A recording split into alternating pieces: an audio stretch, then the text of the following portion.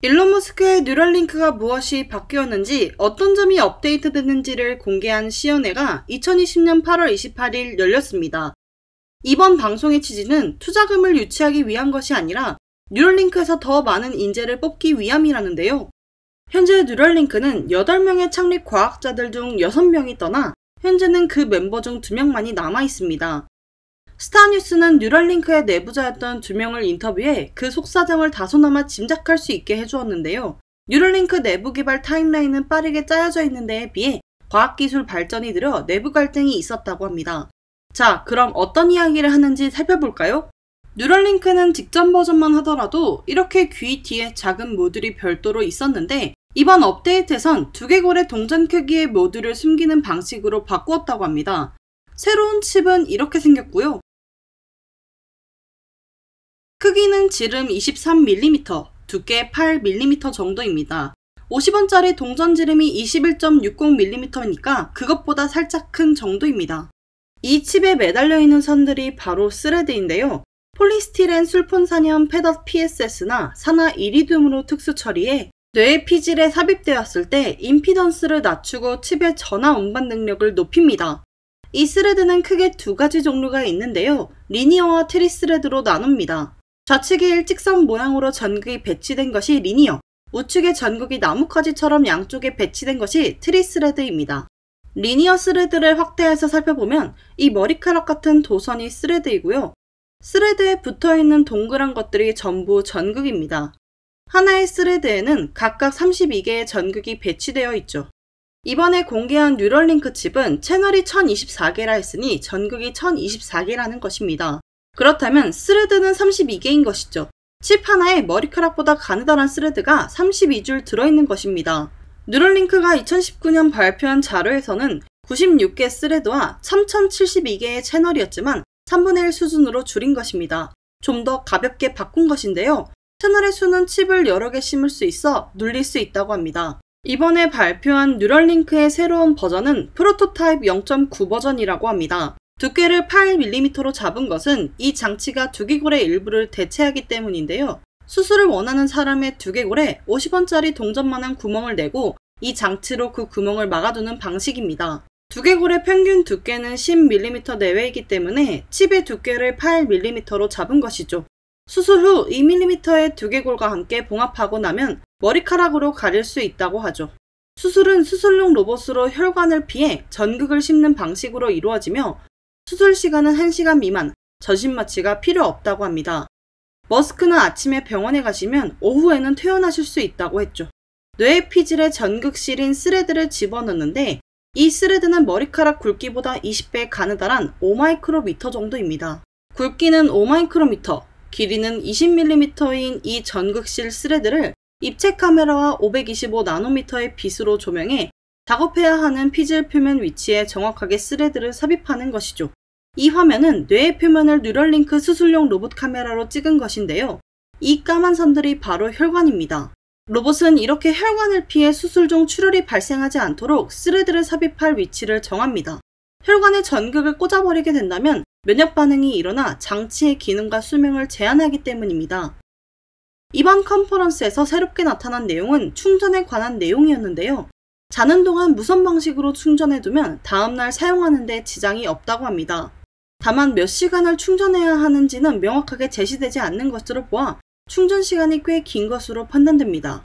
뉴럴링크의 기능에 대해서는 헬스케어, 뇌에 직접 음악 스트리밍, 게임 등의 가능성에 대해 언급되었지만 가장 큰 개발 이유는 AI가 악용될 시대에 대비하기 위함이라고 언급했었죠. 자세한 내용은 해당 영상을 통해 확인해 주시길 바랍니다. 일론은 이번 시연회에서 뉴럴링크를 이식한 돼지들을 데려왔습니다. 실제 뉴럴링크를 이식한 지 두 달이 넘었어도 건강하다는 것과 뉴럴링크를 이식했다 제거 수술을 받은 돼지도 건강하다는 점을 강조했습니다. 이 돼지가 뉴럴링크를 이식했다가 제거 수술을 받은 돼지입니다. 별다른 이상이 없어 보이네요. 이 돼지는 뉴럴링크를 장착하고 있는 돼지인데요. 커튼 뒤에 숨는 바람에 시연회가 다소 지연되었습니다. 일론의 설명을 들어보도록 할까요? Okay, this is a, this is a high energy pig. Um, all right, Gertrude, thanks for coming out. Um, So what you're the, the beeps you're hearing are real-time signals from the neural link in Gertrude's head. So this neural link connects to neurons that are uh, in her snout. So whenever she snuffles around and touches something with her snout, the, that sends out uh, neural spikes, which are detected here. Um, and so on the screen, um, you can see uh, each, each of the, the spikes from the 1,024 electrodes. And, and then if, you, if, she, yeah, if she snuffles around, touches this snout in the ground, or you kind of feed her some food, pigs love food, um, then uh, you, you can see the neurons um, will fire much more than when you're not touching this snout. 이 윗부분에 있는 하얀 점들은 1024개의 전극에서 감지한 뇌내 뉴런의 활동 전이들입니다. 이 수가 많을수록 뭔가 뇌에 자극이 주어지고 있다는 뜻이고 이 점이 많을수록 아래에 파란 그래프가 누적되며 더 폭이 커지는 것이죠.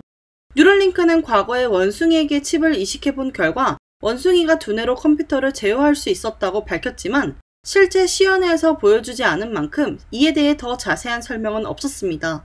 뇌의 신호를 해석해 기계를 조종하는 장치를 BMI라 하는데 이미 과거에 원숭이를 통해 성공한 케이스가 있습니다.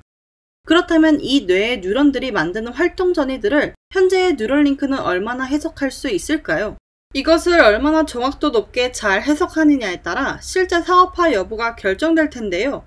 이번 데모에서 잠시 살펴볼 수 있었습니다. 한 돼지에게 뉴럴링크를 이식한 후 러닝머신을 달리게 한 것이죠.